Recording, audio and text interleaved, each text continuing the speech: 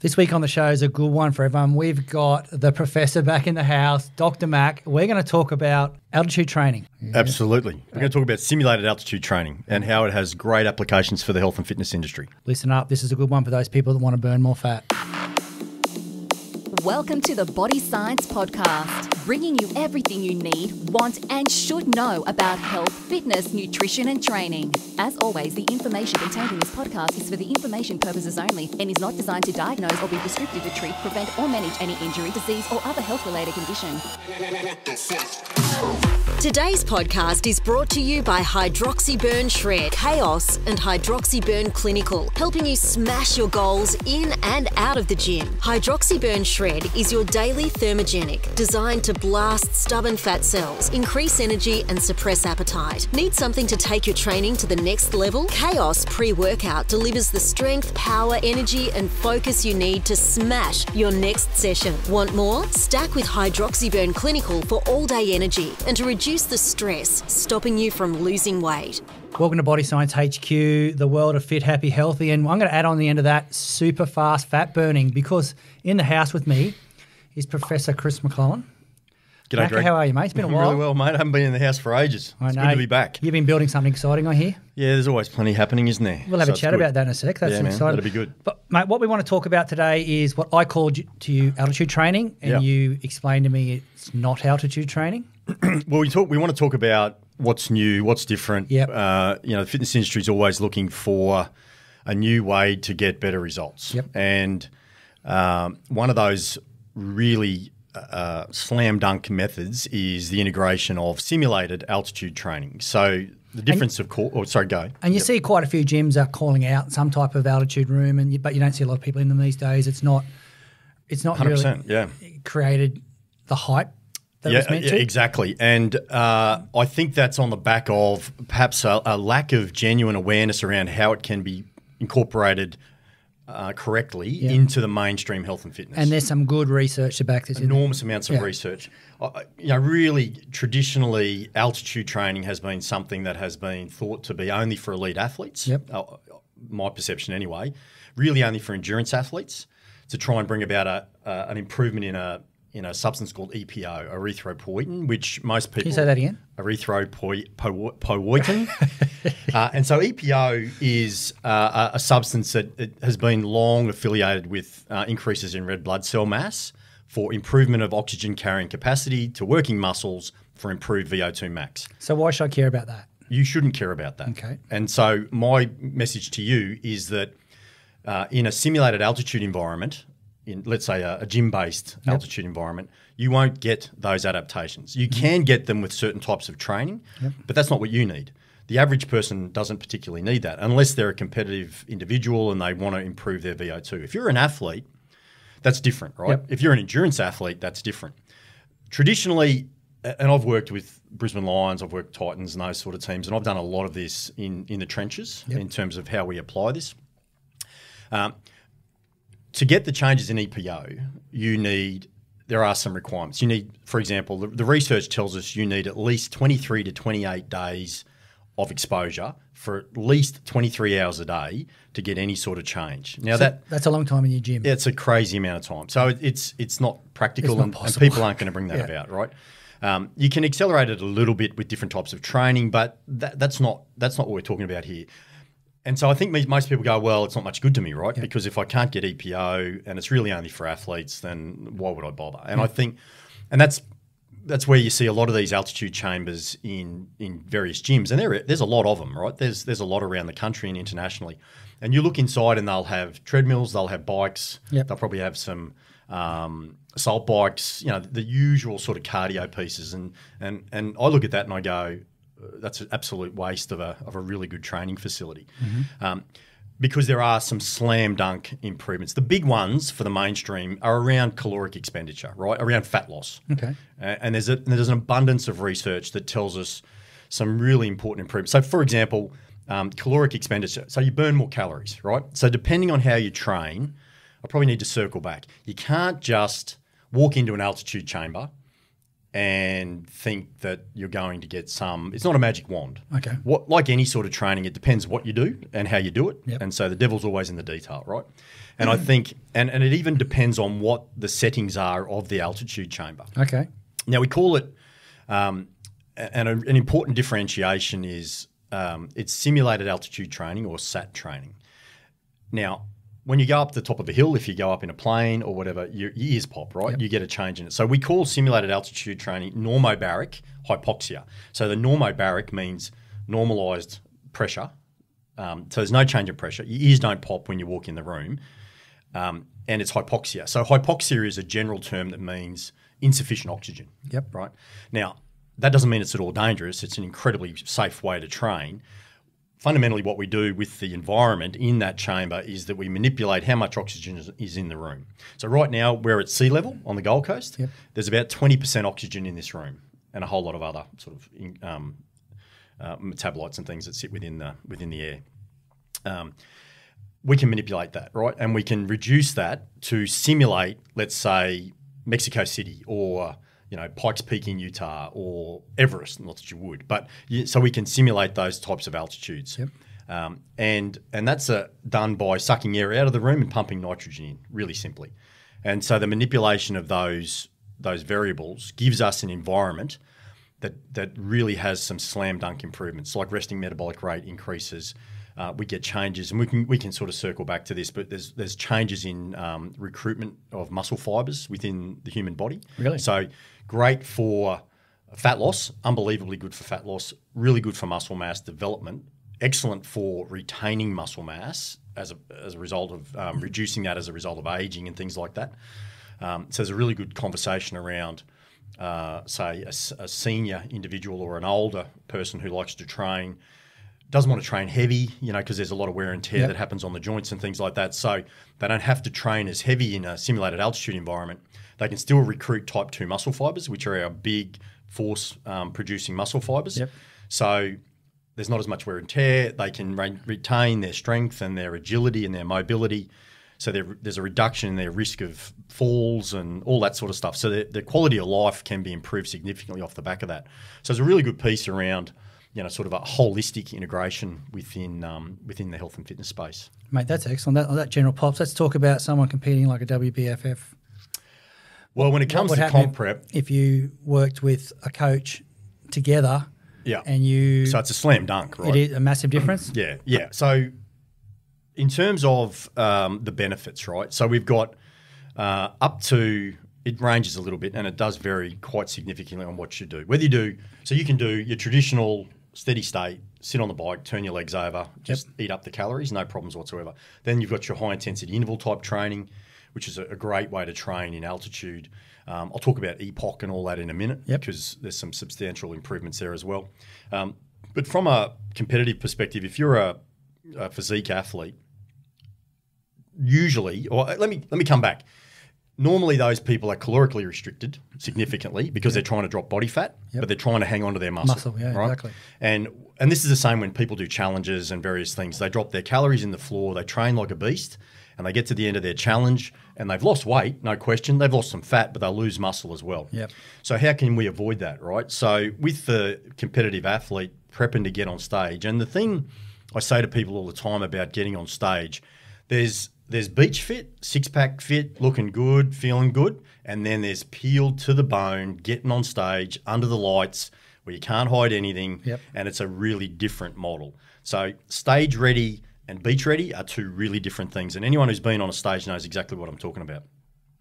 So how do we? So I say to people, okay, so if I can put you in an environment where you will burn maybe 15, 20, maybe 25% more, calories with an identical workout to what you would do at sea level. So what I mean there is, irrespective of how you train, right? So group fitness, any type of training method, um, if you do that identical work, let's say you do a workout right now down in the park Yep. and you burn a thousand calories, let's say, for one of a better number, right? It's a decent workout. That's a good But let's say you're banging through a thousand calories, right? Yep. Come into come into a normobaric hypoxia environment in the right environment, you can burn up to 25% more calories. So the same identical workout, instead of burning a thousand calories, you're at 1250. Yeah, that's right. gold. So there's an enormous um, positive benefit there for fat loss and getting peeled.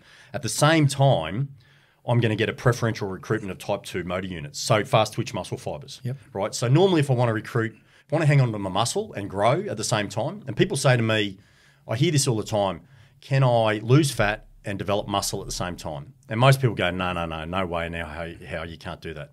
Yes, you can, and you can do that in this environment because I get a preferential recruitment of type 2 muscle fibers.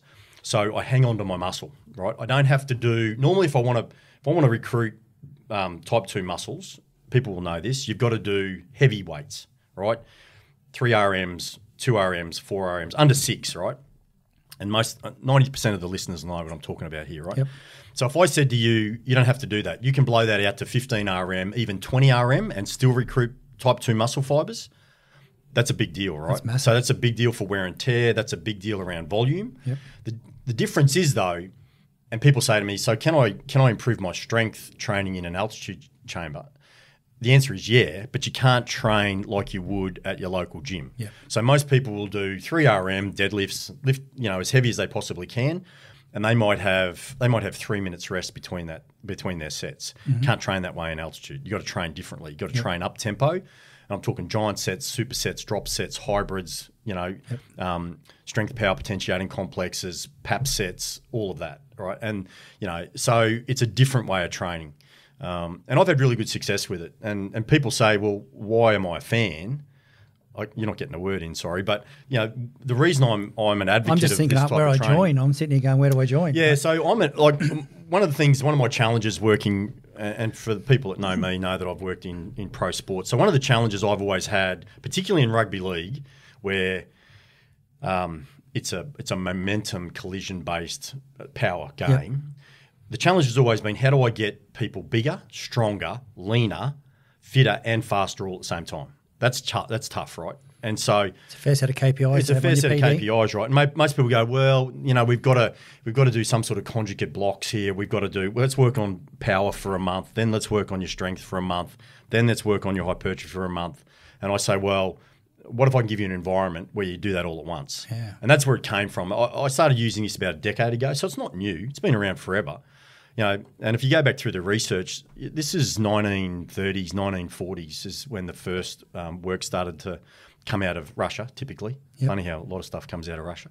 Um, altitude training became pretty popular around the Mexico Olympics, 1968, I think it was, where um, there was uh, remarkable improvements in performance in endurance athletes that had trained at altitude before going to um, those Olympics And was that strategy or fluke? probably at the time it was maybe a bit of both. Yeah, you okay. know. Um, and so, and we know that um, if you look at world records of say ten thousand meter times, there's a there's a there's a village in Kenya. I can't think of it off the top of my head, but if you look at the top ten to, um, race times ever ever performed, nine of them come out of this one village. right? Yeah, it's crazy. The, the stats are crazy. So um, there's definitely a piece there. And the history of this is is is significant in terms of performance. Um, but that's unattainable. Most people can't go to you know uh, Utah or Flagstaff in Arizona or any of these facilities and type and and, and train. So because it's always been live high, train low, right? So what that means is let's go and live up the top of a mountain where we get the altitude exposure, but you can't train up there at a high intensity because you can, you know, you're you've got less oxygen, so your performance efforts will be compromised a little bit, right? So you go down the bottom of the mountain and train, so you still get great workouts. Then you go straight back up the mountain and live up there, right? And that's the 23 hours at altitude a day, Yep. three weeks. And you know, I've done that with the Brisbane Lions, and lots of AFL teams have done it for a really long time. Um, I used to wonder why. This is a real side note, but um, for example, the Lions, I don't even know if they still go, but the years that I was there, uh, the team went in sort of December each year, right? And you say, well, long way still till we get to the season, right? So do we really need to train at altitude now? And that was one of the questions I had because I'd always look at it um, from a uh, repeated bout effect, and I'll talk to you about that in a minute. Rugby league's all about back-to-back efforts, Yep. high intensity efforts, right? Um, I'll tell you about my Titans experience in a minute. But the thing with the Lions was always about, yeah, but you know what? We can go there and train for two weeks, and we get improvements in performance that equate to about four weeks if we stay here. So there's a good bang for your buck. Plus, it's a team environment over there, Yeah, and you, bonding, you a lot get of other bonding things, and all yeah. that. So it's a, All that culture it's a good piece. Yeah. Yeah. The only problem is that Flagstaff in Arizona in December, it's snow Okay. right? So it's not perfect. Okay. But anyway, um, so my piece with the Titans, I, I was always looking for. I knew we weren't going to get dramatic increases in EPO because we never, we weren't going to spend 23 hours a day in there. So I looked at how can we, um, how can we get better at our back-to-back efforts. Um, and so we did a lot of high intensity intervals in there. And I'm talking sprinting on treadmills, rowers, bikes, the whole works, right? We didn't do a lot of weights in there at that time, but it was a lot of repeated bout of stuff. And so what we got is really good at back to back efforts. Um, and I used it there in 2009, 2010. Um, the team were travelling pretty well back in 2010, prelim finals and all that sort of thing. Now, I'm not saying that's why, but you know, um, the the data was I looked at their bloods over that year. We didn't get any changes in EPO, not one bit, Yep. not one person. And I, we did a lot of it, yeah. But what we did a test, it was a, a repeated um, bike bike test. It was 15 seconds maximum effort, 45 seconds rest in between. We did 10 of them back to back. Stop It's it. pretty full on, right? Yeah. So what we saw was their power outputs were greater and were maintained for longer over those series of events. So that tells me when you're under the pump, you know, when you're trying to do back-to-back efforts, you got more in the tank. And then what they got was much, much more efficient at buffering hydrogen ions and inorganic phosphate. So they're two derivative, two variables that are influential of fatigue.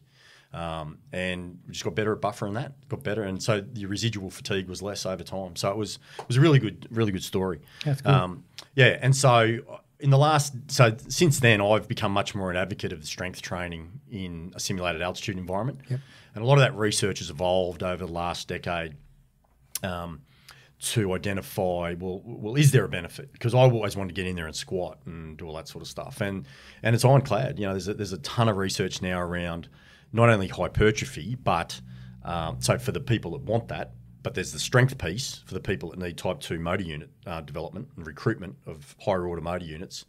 And what I mean by that, when people say, well, what's a higher order motor unit? It's a motor unit that is a, a type 2X fiber. So that's your, you know, your your big time power development motor units within the muscle. Um, and as I said, normally you've got to train really heavy to get those. Um, and in altitude, you don't have to train as heavy. So for most people, that's a good thing, really And it's safe. safe, very safe. Yep.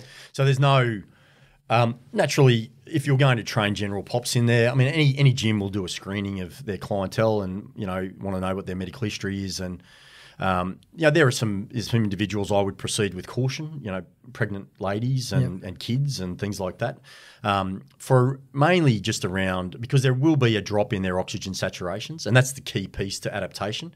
So there's a, a measure called SpO2 or the SaO2, which is a saturation of your arterial blood of oxygen. So how much oxygen is your blood carrying right now to your working muscle? Because that's how the body operates, right? It's all you know driven by oxygen, and the way that we get the responses with simulated altitude is the, how does the body respond to lack of oxygen, right? So normally we breathe it in and it makes its way through our lungs and through our arteries, you know, to our muscles, gets on the myoglobin and gets, you know, transported to the muscle and, and then to the Krebs cycle and energy and all that sort of stuff, right?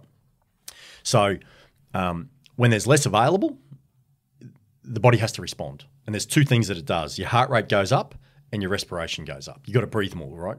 And that's you know that's a baroreceptor or a chemoreceptor reflex um, within your arterial blood. So in in your um, um, carotid artery, we have these little receptors that tell us what's the saturation of our blood, and that tells our brain how to respond, and that drives respiration, that drives heart rate. So it's it's an automated system. You don't have to think about it, um, and that's the immediate response when you walk into an altitude chamber. And, and I run workshops on this all the time.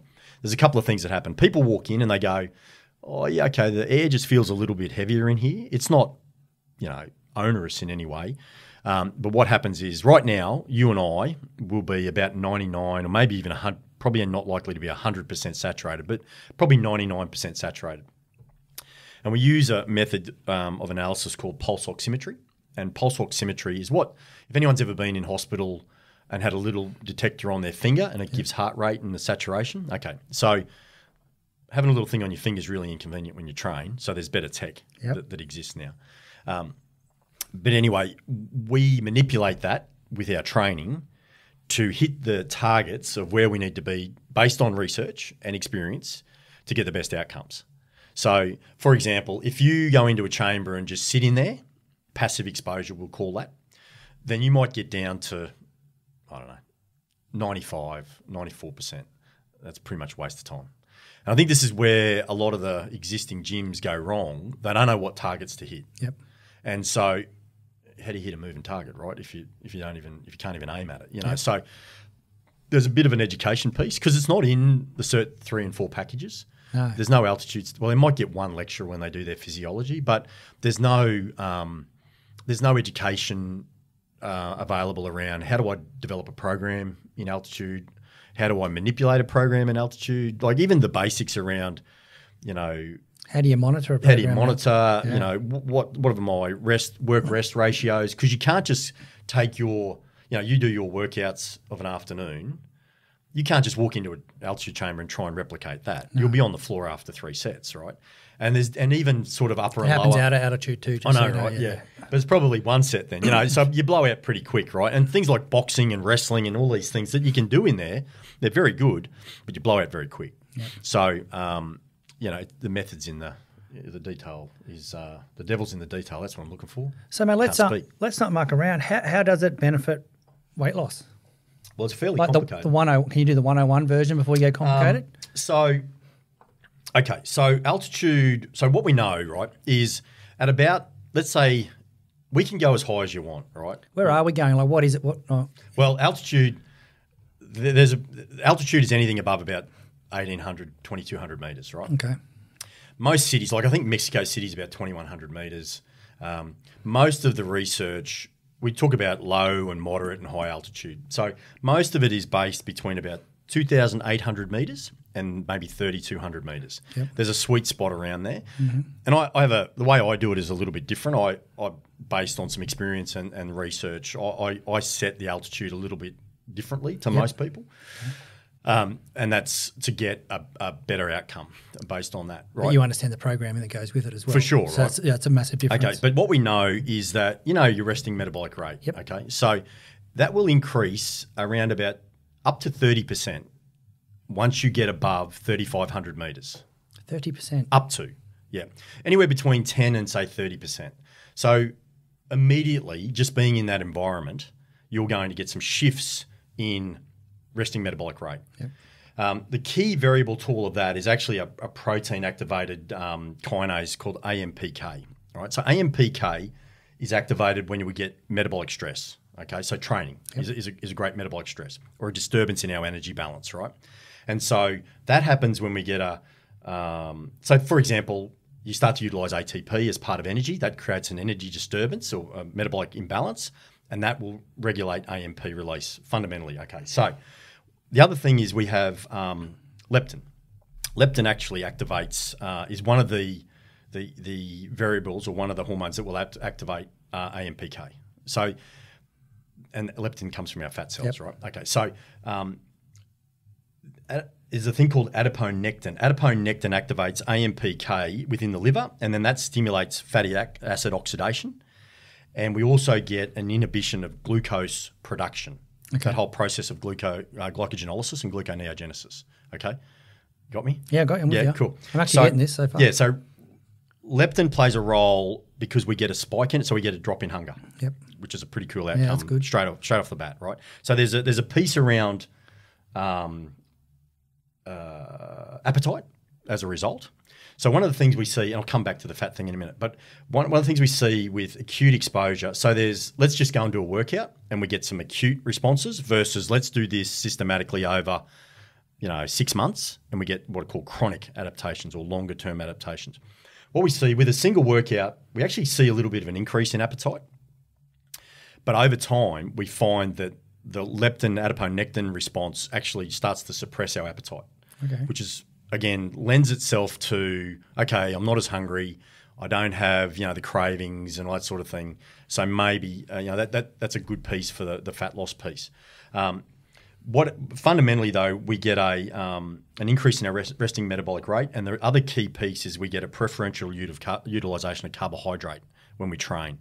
So you burn up carbs really quick. Okay. So I've already got increased fat oxidation, and I've got a preferential utilization of carbohydrates. So we get a, a an increase in what's called lipolysis or breakdown lipid lipid utilization within fat cells. Yep. So we get that, and that's due to um, exercise produces a stress response, right? Exercise and altitude is like a piggyback effect. So we get uh, an adrenal adaptation. So we get a, an adrenaline and a noradrenaline adaptation, which will also drive our acute growth hormone releases. So we can see up to a 300% spike in growth hormone acutely when we train in altitude. And we've talked about growth hormone in other podcasts. But what we also see is a drop in lip, um, insulin concentration as well. So less of that shuttling of carbohydrates uh, as a result of the insulin effect. Okay, so if we get prolonged exposure with with hypoxia, we get a greater reliance on um, or a greater utilization of carbohydrates in our workouts. So again, for the people who want to get on stage, if I'm burning up to 25% more calories, I've got a preferential utilization of glucose. I've got an increase in fat oxidation. Absolutely. I can have, I can probably have uh, 10% more calories in my diet just to be safe. Yep. Now that might be an extra, that might only be an extra 50 grams of carbs, but people who are listening will, will say to me, that makes a difference. Yeah. When I'm two weeks off stage, um, or even people who, you know, just trying to lose fat, right? If I say to you, you can eat a little bit more or you can train a little bit less and you get the same response, that's a pretty good outcome, right? So I, I say to people that I talk to, I, we can do a 20 week prep in 16 weeks, or we can do about a, uh, like we instead of doing a four, 12 or 14 week prep, we can do it in eight or 10 weeks. Wow. If you do the same thing, Yep. you can do it even faster if you manipulate other variables. Um, so, increased metabolic stress, increased carbohydrate utilization, increased fat oxidation, increased caloric expenditure, increased fat loss. That's that's that's basically it. Mate, so that's uh, that's weight loss, and that was impressive, and I'm ready to sign up for anything that's going. But Nice. muscle Me too. gain, muscle gain. Yeah, muscle gain's mean- a big one. 101. Let's you you've talked. So we've tech. talked a lot about muscle um, hypertrophy, right? Yep. So we need a few things for muscle hypertrophy. We need mechanotransduction. I've talked about that heaps in other things. So we need to train, right? Yep. We need metabolic demand. So the workout itself. We've already said we've got an increased metabolic um, response within a- an altitude environment or simulated altitude environment.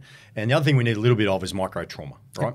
Now, the easiest way I can describe the benefits of simulated altitude training for strength training is there's a thing called the KAATSU method of training. Have you ever heard of that? No, I haven't. Okay, so some people will know of it as BFR or blood flow restriction.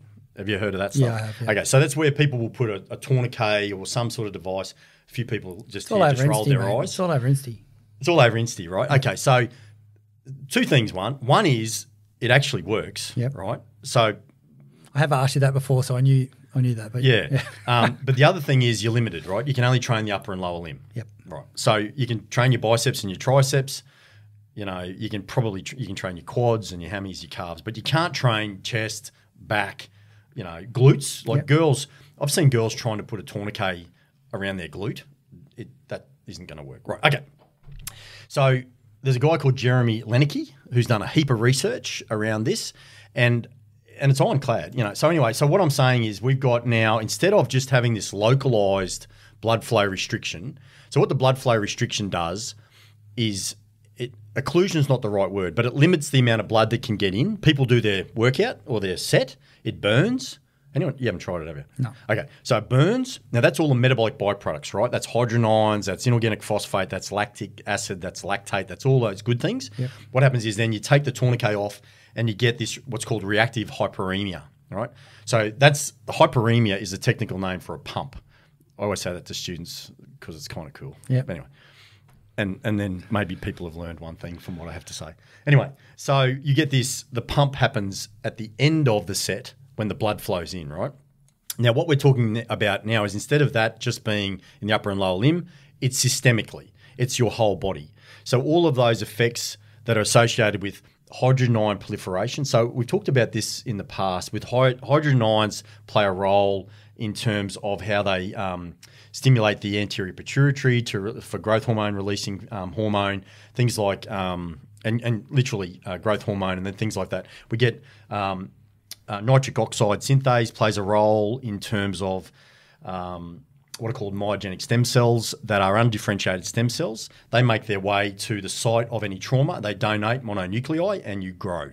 That's cross sectional area adaptation, hypertrophy 101. I just took a breath. Yep. So, in terms of the strength piece, okay, I'm now saying to you, right, you don't have to train as heavy, right? You can train a little bit lighter. You do, you still got to train volume. You still got to do your volumes, um, but you don't have to train as heavy, um, and you can get all of those accelerated muscle adaptations in a simulated altitude environment. So we can squat in there, we can deadlift in there, you can bench, you can do your high pulls, your cleans, all that sort of stuff.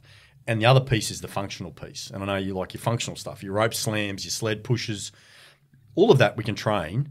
Um, and we'll get all of these accelerated um, benefits off the back of it. We burn substantially more calories, we recruit substantially more muscle.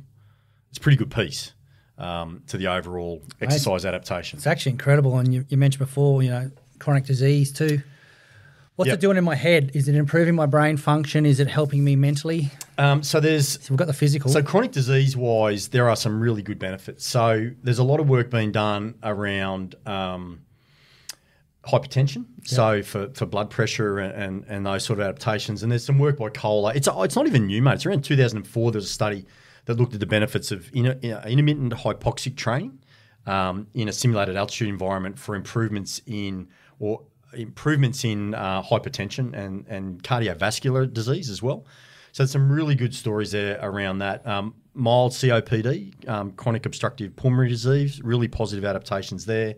Um, anything where there's a, um, a coronary artery disease, I mentioned as well. There's some research around that as well. The, where it's interesting is around um, uh, neurodegenerative disorders. There's some really interesting work that's come out only in the last couple of years around positive outcomes. Now, I'm not for one minute telling anyone this is a cure or this is a you know a magic wand for anything, but there's really positive research coming out looking at things like um, early onset dementia um, and those sort of neurodegenerative pieces. So um, um, early onset of Alzheimer's and things like that. So um, it, it's a really interesting space um, from a brain performance perspective. And there's a study by Bayer, 2017, looked at um, intermittent hypoxic and hyperoxic training in cognitive performance in, in geriatric patients.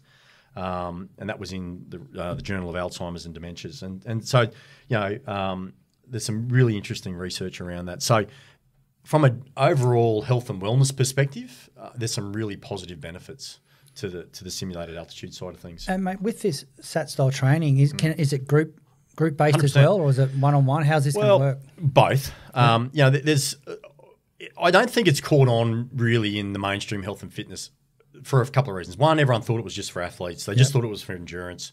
Um, I think people have dropped altitude chambers into commercial fitness and gone, here you go, everybody, there's an altitude chamber, knock yourself out. Yep. No one really knows how to use it. Yep. Like I, I train at a gym that has one, um, and I see the trainers bringing people in and out of the space.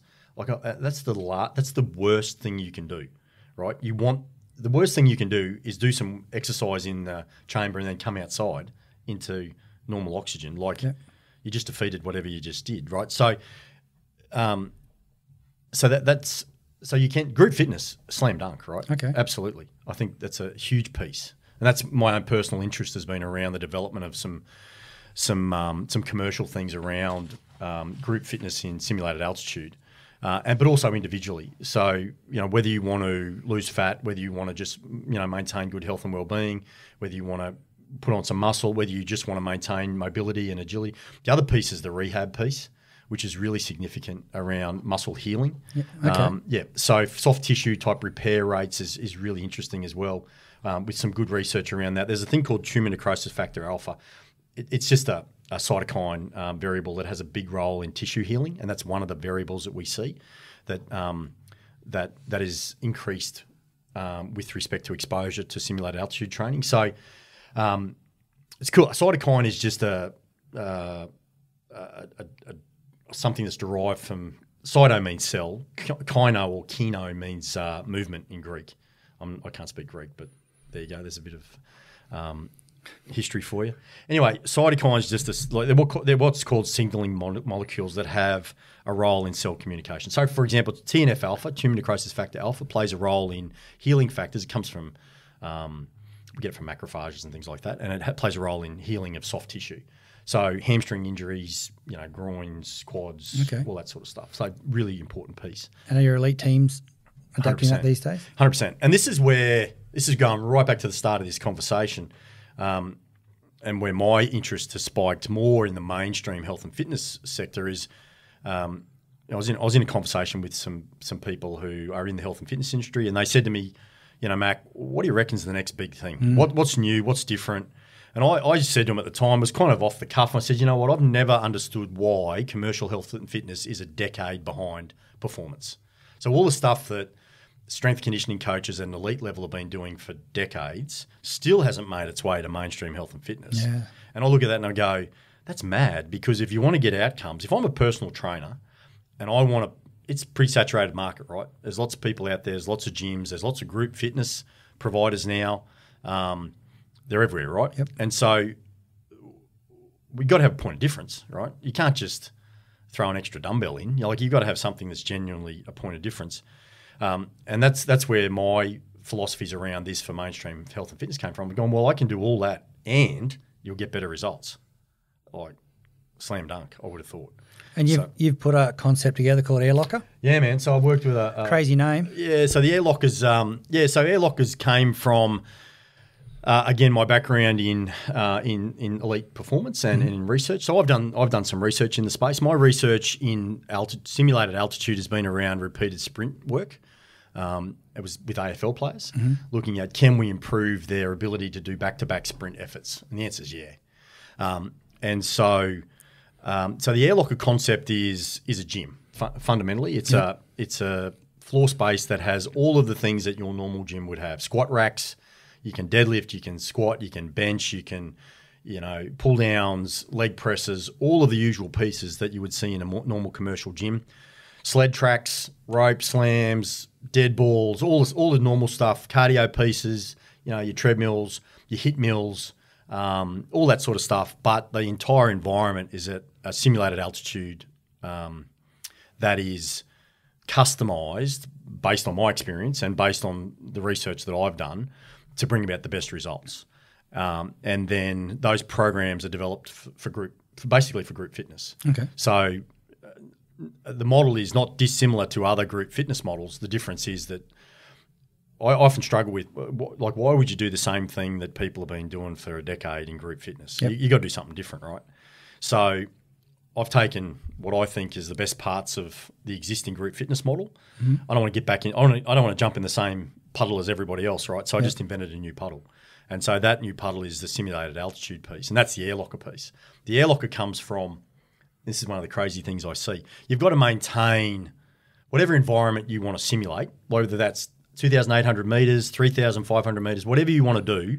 If you open the door, I've always wondered that. Like Right. you open the door, it's out, isn't it? all the air flows out, Yeah, right? So that defeats the purpose, right? Yep. And so in a group fitness environment, if you've got, you know, 20, 30 people that you're trying to uh, escort in and out of the space, Yep. someone holds the door open for five, 10 minutes while everyone exits the room, Yep. you lose all your altitude, Okay. right?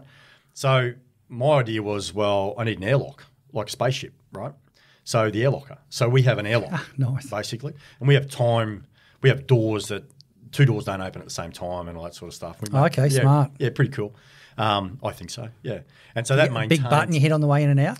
Uh, sort of. Surely you've watched a movie, Yes, you've seen it. Surely a few of those things. The steam comes, the yeah, spray no, steam. no steam. oh, no, no. steam. Seriously. Although maybe that's a, a nice add-on. Yeah. But you know, we have like you know when you're going to jump out of a plane, and have you ever jumped out of a plane? Yeah, I have. Have you? Yeah, I haven't. loved it. Did you really? Oh, Tandem or on your own? Oh, Tandem. first time tandem. Tandem. yeah. You have you done it a couple of times? No. No. Thrill seeker. See, I haven't. Anyway, but what I've seen on the movies is you got red light, green Yeah. light, go, go, go, go, go. Yeah, right? nice. Yeah, yeah. So we got that sort of set up. I've heard you on the go go go go when we've done some. Yeah, um, I've d- I VO2 bit of that when I'm trying to encourage people to um, to do their very Does that best. play as they're going through? It doesn't, but maybe that, that could be a Maybe a create an feature. app or something around that. It could be a feature. Yeah. Yeah, yeah, yeah. So, mate, what what what's unique about this? Why would I want to join Air Locker? Like, Yeah, Let's so the- talk about your product you've created. Yeah, like, man. So so the air locker, the uniqueness of the of the air locker is that it is It is at altitude. It That's is the first thing. So, So, fundamentally, the whole space is, you know, we're talking 300, me- 300 square meters of gym space Wow, all at that's big. altitude. Yeah, pretty big for an altitude chamber. Um, and so the key, the, the point of difference is the altitude, right? And the point of difference that comes with that is all the things I just spoke about increased caloric expenditure, increased resting bo- metabolic rate, improved muscle unit, uh, motor unit recruitment. We see improvements in sleep patterns. There's some. There's a really interesting piece around gut health. There's a really interesting piece around neurotransmitter levels and serotonin levels in particular.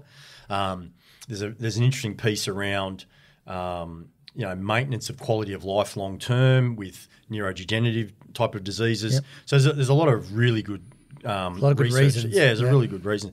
And there's some compelling stuff, mate. Like a lot of the data that we're seeing from a health perspective coming out of um, various populations. And, and one of the, I do some lectures on this stuff at uni, but in terms like if you look at people, there's a there's a correlation or an inverse correlation between how high people live terrestrially, or, or geographically is probably a better term, and new incidence rates of um, metabolic diseases, um, cardiovascular diseases. Now, I'm not saying that people who live on the top of a mountain aren't don't all have um, you know metabolic problems, Yep. but um, there's a there's a compelling uh, amount of research that's coming out telling us that there's some bona fide health benefits to this. Um, and, and so that's the that's the the air locker piece. It's a, it's okay. We can do everything. So irrespective, and I said this at the very start, right? Take any workout you like, any workout on the planet with any other provider. Come and do it in an air locker. You'll burn more calories, you'll recruit more muscle, and you'll get better results. And I'm not I don't, like that's not an embellishment of the Yeah. facts. That's that's that's a cold, harsh reality of how the body responds to a simulated altitude environment. The other piece is the EPOC, right? So the the excess big post, word. yeah, right. So the po- the excess post exercise oxygen consumption, right? Yeah. Now there are some wildly exaggerated Yep. Um, timeframes that have been mentioned in the mainstream sort of health and fitness world around do this workout and you'll get this type of EPOC response, right? So there are systematic reviews, there are a whole lot of data that tell us that at best, that's about four to six hours, right? And I know others say other things, but it's garbage, right? Yeah, Yep. whatever. What I'm saying to you is that's fine. I don't really care. Whatever they're doing, what I'm telling you is there's research that says we get up to 300% more EPOC in a simulated altitude environment in in sea level match trials. Wow. Right? So, or at the very least, about a 10 to 15% extension of that EPOC. Is that right? 100%. So the, the research is ironclad. So there's some really good conversations around. Okay, I'm going to burn more calories in my workout. You still got to train hard, right? I'm, Yep. not, I'm not saying you walk in there and you just get skinny. exactly. But you just get in there, you do your workout. I'm going to burn more calories for longer. I'm going to recruit more muscle. I'm going to increase my resting metabolic rate and my BMR over time. I get a suppression of my appetite over time. It's a pretty good piece. So, um, and that's why I looked at that and I've gone, you know what? I want to make people bigger, stronger, leaner, faster, and fitter. Yep. I've been doing that with athletes for you know two decades. Let's do this for everybody else. Now, not everyone wants to get bigger. Don't have to. You can still get leaner. You can still get fitter. You can still get faster. You can still get um, you know re- retain muscle. And I'm a big advocate of the retention of muscle throughout the lifespan. Uh, we talk about um, health span, not not lifespan, right? You know, because we've talked about this in other have, in yeah. other things, but and there's a really good article. I can't remember the author off the top of my off, off the top of my head, but there's a really good paper that confirms that if you have those persons who have higher amounts of lean muscle mass have better outcomes from pretty much any disease you can think of or any injury you can think of. that And I'm talking burns victims right through to really senior serious my, myocardial events. Mm-hmm. If you've got more muscle, you do better Okay. right? So, and you know, with the aging piece, sarcopenia is a is really common in terms of um, well, it's a natural part of the aging process. So, I call it the mature and mobile type group. So, people that want to just get active, you don't have to go into the gym and lift a whole lot of weight and do a whole lot of crazy stuff. You can go in there, train with moderate intensity. Don't have to lift as much. I can still recruit those type two muscles, which are important because with sarcopenia, there's a preferential loss or you lose fast twitch fibers faster than you lose slow twitch fibers, which is like doubly worse because you lose strength faster than you lose endurance. And so um, there's a capacity in this environment to slow that down. Okay. And that's a that's a pretty compelling piece. So, mate, if I'm a, if I'm training at Air Locker, and we'll talk about when you're going to drop that and when it's going to start soon, is my um, Apple Watch or my Garmin or my fitness watch going to understand that I'm training at? How, is it, how am I going to know that I'm getting a perceived difference? Yeah, so we've got some customized tech basically. So we there's a lot of different providers in that space with with the ones you've mentioned, and there's My Zones, and there's a heap of them, right? So what we do in real time during the workout is certainly we do heart rates, Yep. um, and that is incorporating some of the existing tech, but we've also developed our own um, to do heart rate, caloric expenditure, and then depending on um, your zone of heart rate, for example, and saturation rate. So we can we monitor the sats as well, and so because we want you to hit some targets. Yep. Right. And so the first thing we do is identify because not one size fits all, right? And there's no direct correlation between fitness level or body fat level and how you go in altitude. Yep. Right. So I've like in my experience, I've I've seen some some athletes with VO2s in the 70s, right? Beasts from an endurance perspective, who tap out in altitude really quick. On the other end of that spectrum, I've seen some people who are almost morbidly obese, who are like mountain goats, who Yep. want to train all day. And there are some people that are genuine non-responders who get nothing. Yep. And so, um, we we look to we screen people as part of the onboarding procedure with individuals coming into this environment. So the Air Locker is group fitness Yep. and individual memberships. Yep. So it's not like some of the providers that are only open morning and night. Mm-hmm. This thing's open from five a.m. till eleven p.m. Okay. Right, and so you can come in and just train if you want, And it's always at altitude. always. Okay. Every minute that it's open. Right. Wow. And so the difference is, and what we try and do to get the best outcomes for people is you can certainly be a member and come in and just train on your own. That's cool. But we want you to get the best outcome, right?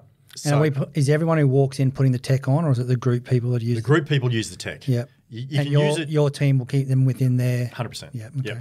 So in real time during the workouts, you got your heart rates, your caloric expenditure, your relative um, altitude, caloric expenditure, and your sats. Wow. And that all comes together and tells us that's all on a screen. Big, Yep. big sort of plasma, um, and that's not new. Lots of different providers, or lots of different providers are doing the heart rate stuff, um, and maybe the calories.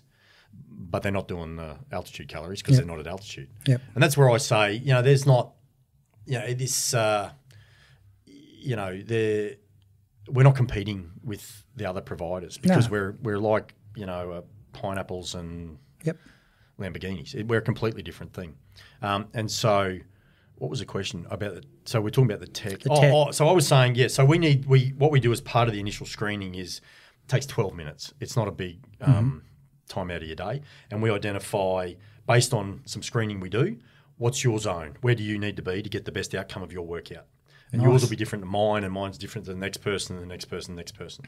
So that's an onboarding thing that we do. Yep. And I, you don't have to do that if you're a, just a member, Mm-hmm. but I would strongly recommend that you If do. you want results. Yeah, if you want results, you know, because like I said, if you just come in and try and train like a power lifter or a bodybuilder, like you always do, always always trained, you're probably not going to get the best results. And we want people to get results. Yep. Um, and same with the group fitness type stuff. So, mate, 30, um, 36 people in a workout. Um, you know, they're, they're run, you know, from early morning till late at night.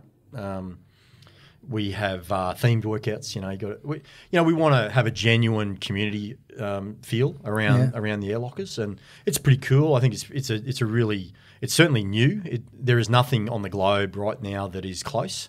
There are altitude chambers, but there aren't air lockers. Yep. And no, some are doing some cardio, some are doing a little bit of strength. No one's doing the sort of footprint that we've got. And let's Um, not muck around. Most of these people are coming to you to talk about what they should be doing. Well, a lot of them. Yeah, exactly, yeah. So um, I've trained most of them. Hmm. So um, I've kept a few little competitive. Oh, that's your style. That's Yeah, I get thing, that, Right? yeah. I don't, don't let everything out of the bag. Yeah. Um, but so I've so the other thing is that the group fitness is all developed by me. Mm-hmm. So I've written every workout. There's you know we've got 28 different themes. Um, you know we change them up on a weekly basis, so you're not doing the same workout time and time again.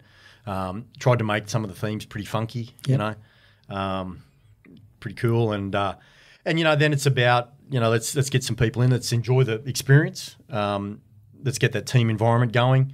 People, you know, whether you want to use a tribe or a group or a team or whatever, I'm all about that that team environment, and they're the sorts of people that we have as our trainers. Um, we've got um, so uh, in nearly every air locker, the plan is to have um, exercise physiologists on board as well, Yeah, who nice. have a, a, a slightly different skill set, um, and that lends itself into the rehab piece. So we have, excuse me, we have uh, individualized rehab in a team setting. So, for example, you might have torn your hammy, someone else has torn their quad, got a torn calf, whatever it might be. They can come in during a set period of time, and as a group, we do the do the rehab. So that's a like you would do in a footy team or Yeah, a exactly. soccer team. And so you're feeling like if you're a member, that's part of your membership. That's gold. Right? Yeah, so you can just come in. We're not trying to steal clients off anyone. We welcome physios and medicos or whoever, chiros or whoever, to say to, to they can even come in and you know experience the workout. Like, um, but we're saying, well, we've got suitably qualified people who can supervise your rehab. Bring your own rehab program, Yep. or we can write one for you. Yep. Um, and they're done by me Mm-hmm. um, for the vast majority of cases. Um, and we have a, a group. I've got a group of And for people who don't know, at the moment, you're running university level. Yeah, yeah, man. I'm, I'm a professor and I'm, Yeah. I'm, I'm a head of school and I run. That's what I've been doing for 16 years in terms of academic The stuff. head of which school though? Don't worry about the uni, but what's the school called? Oh, health and wellbeing. Yep. Yeah, yeah. Okay. So I oversee things like sport and exercise and things like that. So, um, uh, yeah. So I've been in that in that field for a really long time, um, and got a particular interest in the in the uh, normobaric hypoxia. Uh, and there's not a lot of people. There's, there's some people researching it, uh, but uh, you know, without sort of pumping my own tires up too much, there's not a lot of people that have been in the trenches with it and done research with it. And so I'm bringing all of that, and what I said, you know, bringing why I think mainstream fitness has been a decade behind performance. Well, I'm bringing that now. Yeah, So nice. All of those strategies, and it's been used. Olympians, you know, um, special forces use it a lot for you know different parts of the world. Like you know, people don't probably realise, but a lot of Afghanistan is at altitude, um, and so um, you know, there's there's good good justification around the tactical group training in that environment as well. Um, yeah, so that's that's part of the piece. Mate, that's incredible. So, uh, Airlocker, when's it? When's it coming to Australia? So, the, uh, so it's here. Um, the first one drops. Airlocker One's in Newcastle, and it opens in about five weeks. Yep. you got a date on that? Uh, well, yeah, by the time this Is that podcast June? drops, that'll be late June. Yep, probably late the first June. week of July. Where's the next one? Uh, next one will be on the Gold Coast, and that'll Oh, be nice. Yeah, In be, my place because I don't drive far. It will be not. No, I can't afford to put somewhere on the beach. Seriously, Uh, Millionaires Row, there was no space, man. I, I couldn't find one. you So could just hit me up for a floor. I probably could we have a floor of your house? Yeah. We only need 300 square metres of it, so half of one of the floors of your house. So will it be on the Goldie Uh, so sorry, on the Goldie. Yeah. yeah, yeah. Where? Yeah. uh, it'll be a bundle. bundle? Yeah, okay. yeah. So it's in the central of the Gold Yeah, Coast. Yeah, nice. uh, and then after that, uh, where it where, where it's a franchise model. So Okay, we- so it we- is a franchise model. yeah. So we've got. How do people contact you? um, so they can get on you me. love phone calls. I know that. I do love a phone call. Um, we uh, through our Instagram, through Airlocker Training is our is our is that one word? Air locker training. It is on Instagram. No dots, no underscores. No, No, it's okay. it's one. Or you can just go. It's actually Chris. It's not Mac. It's Chris at airlockertraining.com. Okay. Can get me on that. Um, and uh, Dot yeah, com. dot com. Yeah. yeah. So uh, we're going to roll them out uh, all over Australia uh, and everywhere else on the planet. That's the Mate, plan. nice work. Yeah, man. We'll, we'll have a go. It's cool Hmm. when you uh, when you devise something and think of something and you bring it to market. Yeah, and and that was all about a point of difference. What's what's novel? What's uh, you know, I don't. There's no point doing what everyone else has done. So this is genuinely unique. We've we've uh, we've had a lot of interest. I've spoken to a lot of people already. Uh, done a lot of work in US and Europe and places like that, and and and the, the, the feedback is universally the same, and that there's nothing like this anywhere. Yep. So that's a really good. Um, So we're going to see a whole lot of new diets and supplements and things coming out due to this type of training. So I've already, yeah, well, so there's a conversation there at some point because I've designed um, some supplementation around what fits in really well with this. Yep. Um, and how we can, again, value add to get the better outcomes of, so, so for example, even existing supplements like your shred and things like that, you know, okay, so you've got a, you've got a, a product that increases metabolic rate, for example, and and now you're in an environment that increases Absolutely, metabolic rate, right? So there's a there's a good piggyback effect that Yep. we can get on the back of that that I think is um, is excellent Mm. from that perspective. That's exciting, mate. Yeah, man. I'm good. really happy for you guys. Um, congratulations. awesome.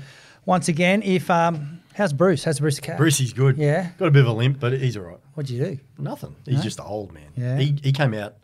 I think he came out with the first fleet. He's been here a long time. Yeah, we love Bruce the cat. Yeah. How's your Instagram, mate? We haven't talked Killing about it. today. Yeah, It- my Instagram is unbelievably at the Doctor Mac, is it? Yeah, yeah, I've nearly got a thousand followers. Nice, nice. Yeah, it's not. It's it suffers from neglect, but you know, it's quality, Greg, not quantity. Well, exactly. That's Yeah. true. And you know what? Uh, and to all those, uh, and to those people that do follow me, my apologies for not doing very much. I'll try and do better. Well, we've all been wondering what's happened to Bruce, not you. Oh, yeah. okay. So Good. it is footy season. I'm I'm looking for the photos of you two watching footy. Yeah, footy. Friday night footy. Yeah, We're exactly. Hundred percent. That's my life. So, mate, congratulations on where you're going. Thanks for the chat on. Um, Awesome. Thanks for the opportunity. It's been cool. yeah, like it's it's a really cool concept. and I'm excited for it. Awesome. Bring on the Gold Coast one. Thank you. Today's podcast was brought to you by our partners in Fit, Happy and Healthy, ASN, Nutrition Warehouse, DY Discount Vitamins, Fat Burners Only, Evelyn Faye, Mr. Supplement, or find a retailer online at bodyscience.com.au forward slash retailers.